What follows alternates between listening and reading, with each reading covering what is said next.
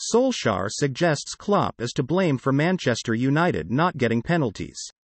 After the Liverpool manager made comments about their rivals' record for getting spot kicks, his Old Trafford counterpart has now returned fire.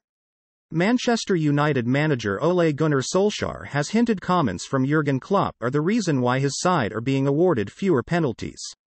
Klopp suggested Man UTD receive a disproportionate number of spot kicks in comparison to his Liverpool team, which Solskjaer feels is a reason behind his side no longer getting as many. While not mentioning the Reds boss by name, Solskjaer clearly alluded to Klopp in his comments at his press conference on Friday ahead of the Premier League clash with Aston Villa. More follows.